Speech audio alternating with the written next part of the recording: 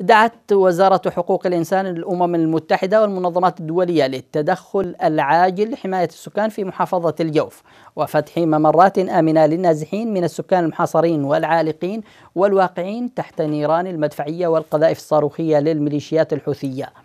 وقالت الوزارة في بيان صادر عنها تلقت وكالة الأنباء اليمنية سبأ نسخة منه أن التصعيد الحوثي في الجوف وقصفهم العشوائي بمختلف الأسلحة الثقيلة أدى إلى وقوع خسائر كبيرة بين أوساط المدنيين والممتلكات العامة وتسبب في تهجير ونزوح أعداد كبيرة من السكان أغلبهم من الأطفال والنساء وكبار السن.